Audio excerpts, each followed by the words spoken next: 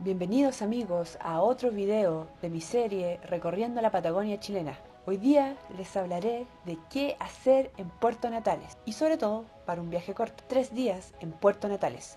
Acaban mis recomendaciones. Antes de empezar, no olvides suscribirte, darle dedito para arriba y seguirme en mis redes sociales. Aquí vamos. El primer panorama que les tengo para hacer en Puerto Natales es totalmente gratuito y es recorrer la hermosa costanera de este pueblo. Aprovechar especialmente los atardeceres de los días despejados. Es algo totalmente mágico. La costanera de Puerto Natales tiene una extensión aproximada de 4 kilómetros, la cual se puede hacer en una caminata muy corta.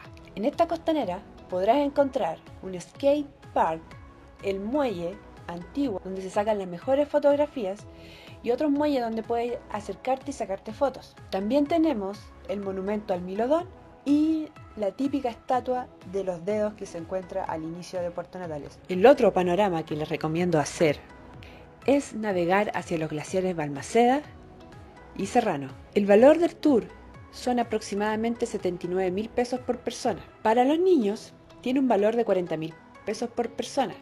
Esto es solamente válido para niños hasta los 12 años. Los niños entre 0 y 2 años van liberados en el, valor. La expedición inicia en el centro de Puerto Natales o en la ubicación de nuestra agencia donde tomaremos el tour. La navegación hasta, hasta nuestro destino final, que es el Parque Bernardo Higgins, donde se encuentra el glaciar Serrano, es alrededor de dos horas.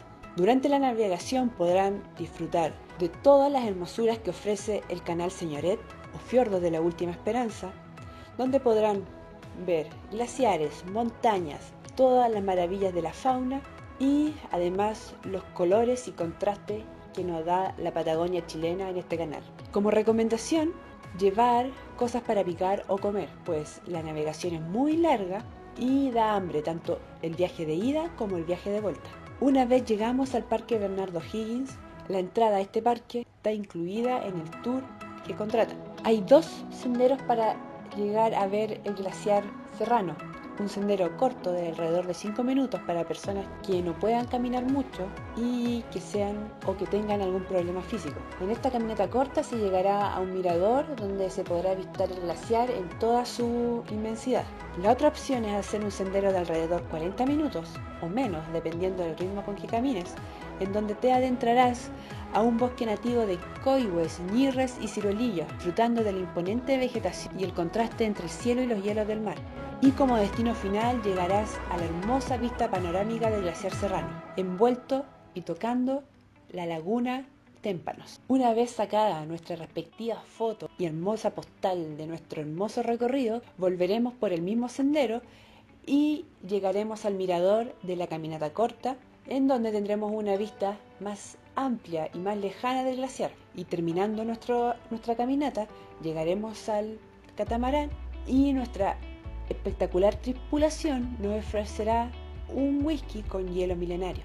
Si no bebes alcohol, toma jugo o bebida, pues son muy pocas las oportunidades en que podrás disfrutar un bebestible con hielo milenario. Si quieres ver más sobre esta navegación, el link te lo dejo en la descripción y también saldrá por una tarjeta acá arriba. El próximo panorama es uno de los imperdibles que tienes que llegar a hacer sí o sí a Puerto Natales. Este es el Tour Full Day a Torres del Paine, en donde visitarán los mejores lugares y vistas panorámicas que ofrece esta octava maravilla del mundo moderno. El valor de este tour es aproximadamente 39 mil pesos chilenos por persona para los adultos y 29 mil para los niños. Este valor solamente es válido para los niños de 4 a 8 años y los niños entre 0 y 3 años es el valor liberado. El valor de la entrada no está incluido en nuestro tour. El valor de la entrada al Parque Nacional Torres del Paine para chilenos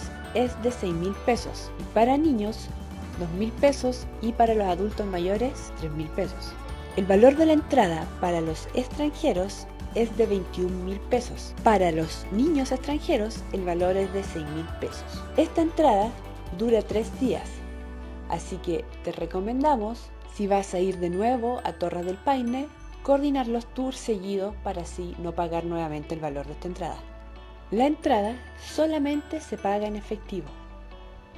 Otro de los panoramas que no te debes perder es visitar la cueva del Milodón. En nuestro caso, la cueva del Milodón estuvo incluido en el Full Day a Torres del Paine, así que está dentro del valor que mencionamos anteriormente de 39 mil pesos. La entrada a la cueva del Milodón por persona es de 4 mil pesos para los adultos que sean chilenos. El valor de la entrada para los extranjeros es de 8 mil pesos. Los adultos mayores, tanto chilenos como extranjeros, tienen entrada liberada. Y para las personas que tengan la tarjeta INJU, que son estudiantes más que nada, ingresan con un valor de entrada de 3 mil pesos chilenos.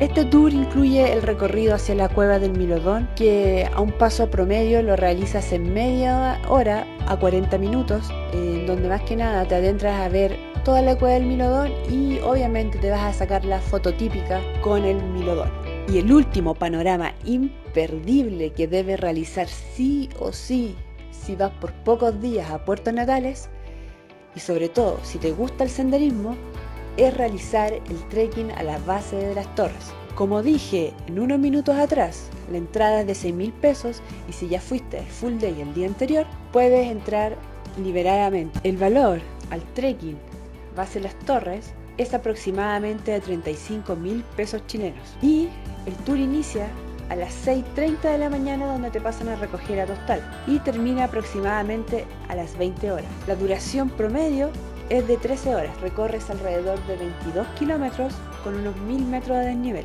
Se recomienda para este trekking ir con los zapatos adecuados, ojalá bastones y con la hidratación y comida necesaria para 13 horas de caminata aproximadamente. Una mochila pequeña de 25 a 30 litros, ir con lentes de sol, gorro o según las condiciones climáticas. Si hay frío, ir preparado para el frío, si hay un poco de sol, ir preparado para el sol. No olvidar el bloqueador solar. Esta caminata no está permitida para embarazadas, la edad mínima requerida por la agencia es de 14 años, no es apto para personas con problemas respiratorios o circulatorios, no está permitido para personas con problemas a la rodilla y a la columna. Todas las actividades que les he ido mostrando están los links con todos los detalles, todo lo que se realizó, las mejores imágenes, se las dejo en la descripción. Y también salieron en su respectiva oportunidad en las tarjetas de arriba. Ya estamos terminando, así que si te gustó este video, por favor, a suscribirte, dedito para arriba, compartir en tus redes sociales y les dejo también mis redes sociales en el primer comentario para que me sigan y seamos cada vez más. Así que amigos, muchas gracias y nos vemos. Adiós.